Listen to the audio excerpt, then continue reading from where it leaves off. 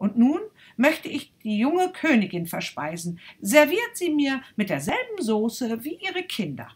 Der Haushofmeister geriet in helle Verzweiflung. Er konnte sich nicht vorstellen, wie er sie diesmal hinters Licht führen könnte. Die junge Königin war zwanzig Jahre alt, nicht gerechnet die hundert Jahre, die sie verschlafen hatte.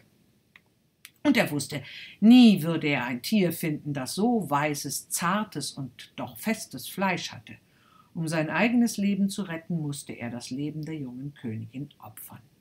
Er biss die Zähne zusammen und ging mit gezücktem Messer hinauf ins Gemach der jungen Königin.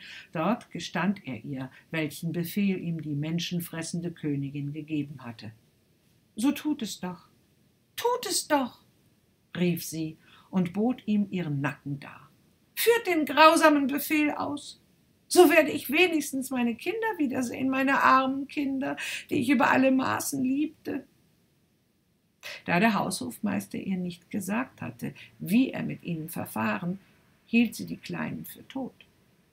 Nein, nein, gnädigste Herrin, rief der Mann, dessen Augen feucht geworden waren und der nun seinem guten Herzen folgte. Ihr sollt nicht sterben, und ihr sollt eure Kinder wiedersehen. Ich habe sie in meinem Haus verborgen, und ich werde die alte Königin erneut betrügen, denn ich werde an euer Statt eine junge Hündin töten und zubereiten. Und ohne ein weiteres Wort brachte er sie in sein Haus, wo sie die Kinder in die Arme schloss, während er sich daran machte, die Hündin zu fangen und zuzubereiten. Die alte Königin verzehrte das Gericht mit so großem Genuss, als wäre es ihre junge Schwiegertochter. Sie verspürte große Zufriedenheit über ihre Gräueltaten und legte sich eine Geschichte zurecht, wie sie dem König bei seiner Heimkehr erzählen wollte. Hungrige Wölfe seien in den Palast eingedrungen und hätten die junge Königin und ihre Kinder als Beute gerissen. Als die Menschenfresserin nun eines Abends, wie es ihre Gewohnheit war, nach frischem Menschenfleisch witternd umherstreifte, hörte sie das Gejammer des kleinen Tags, der unartig gewesen war. Gleichzeitig hörte sie, wie die kleine Dämmer ihre Mutter bat, ihm zu verzeihen.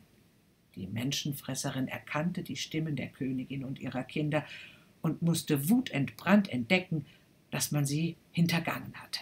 Am nächsten Morgen befahl sie in so schrecklichem Ton, dass alle erzitterten, man möge einen riesigen Bottich mitten auf dem Schlosshof aufstellen.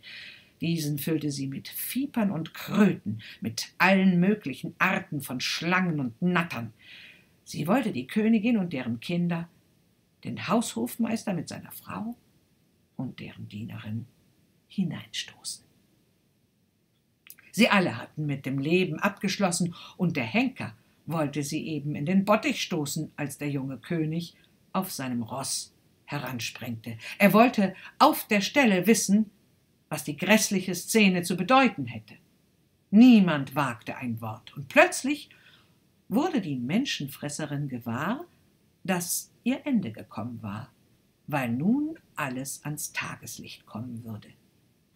Sie warf sich in den Bottich mit den giftigen Kröten und zischenden Schlangen und wurde auf der Stelle von eben demselben Bestien getötet, mit deren Hilfe sie anderen den Tod zugedacht hatte. Der König war traurig, denn schließlich war sie seine Mutter. Doch er fand Trost im Gedanken an die gemeinsame Zukunft mit seiner schönen Gemahlin und den wohlgeratenen Kindern.